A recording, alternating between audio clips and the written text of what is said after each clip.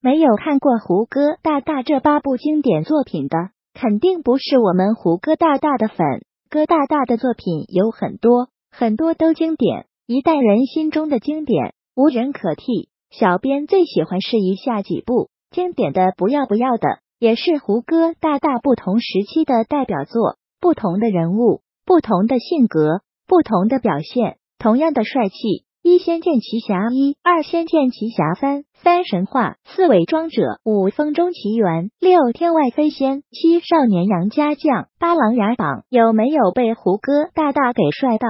是不是每个都帅到没朋友？那么你看过几部呢？